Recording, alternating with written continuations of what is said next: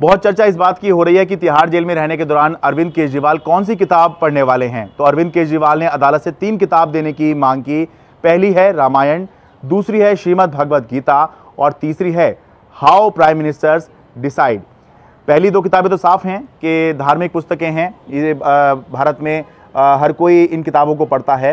लेकिन जो तीसरी किताब है हाउ प्राइम मिनिस्टर्स डिसाइड, उसको लेके बहुत ज़्यादा चर्चा हो रही है कि आखिर अरविंद केजरीवाल ये कौन सी किताब पढ़ने वाले हैं? तो इसके बारे में मैं आपको बताऊँ कि ये जो किताब है हाउ प्राइम मिनिस्टर डिसाइड ये पत्रकार और लेखक नीरजा चौधरी की किताब है। इस किताब में प्रधानमंत्री इंदिरा गांधी से लेकर और प्रधानमंत्री मनमोहन सिंह तक जो हैं कि ये कैसे प्रधानमंत्री बने, कैसे इन्होंने फैसले किए, इसके बारे में लिखा हुआ है। छह प्रधानमंत्रियों का ब्यौरा इसमें दिया गया है कि कैसे ये बने, कैसे इन्होंने फैसले किए कैसे कैसे फैसले इन्होंने किए हैं।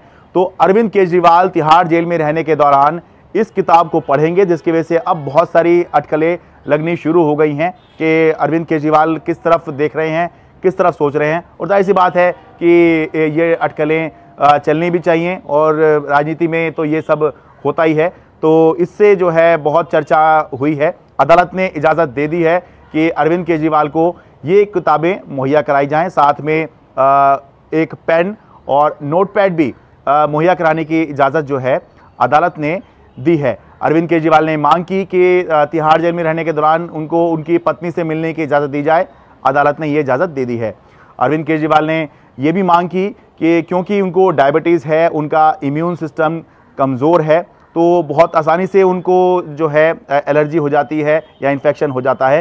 तो इससे बचने के लिए उनको इजाज़त दी जाए कि वो अपने ही गद्दे, अपनी बेडशीट दो तकिए और रजाई जेल में इस्तेमाल कर सके। तो कोर्ट ने स्वास्थ्य कारणों को ध्यान में रखते हुए इस बात की भी इजाज़त दे दी है। ये भी इजाज़त दी है कि अरविंद केजरीवाल ने एक धार्मिक लॉकेट पहना हुआ है। उसको भी अरविंद केजरीवाल तिहाड़ जेल में रहने के दौरान पहन सकेंगे। घर का बना खाना और स्पेशल डाइट क्योंकि अरविंद केजरीवाल को डायबिटीज़ है तो स्पेशल डाइट और घर का बना खाना, साथ ही बोतल का पानी ये भी मांग की गई अरविंद केजरीवाल की तरफ़ से। कोर्ट ने स्वास्थ्य कारणों को देखते हुए इस बात की भी इजाज़त दी है। साथ में जो डायबिटीज़ की दवाई हैं वो देने की मांग अरविंद केजरीवाल ने की।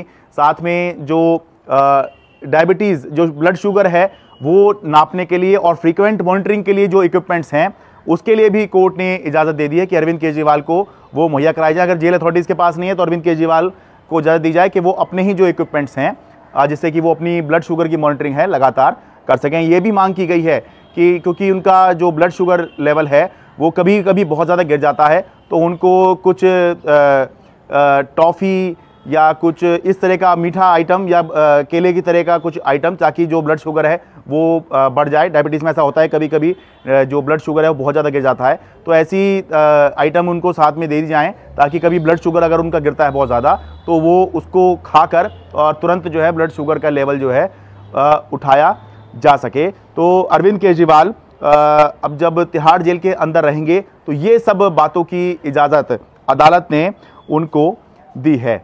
दिल्ली से मैं शरद शर्मा एन मीडिया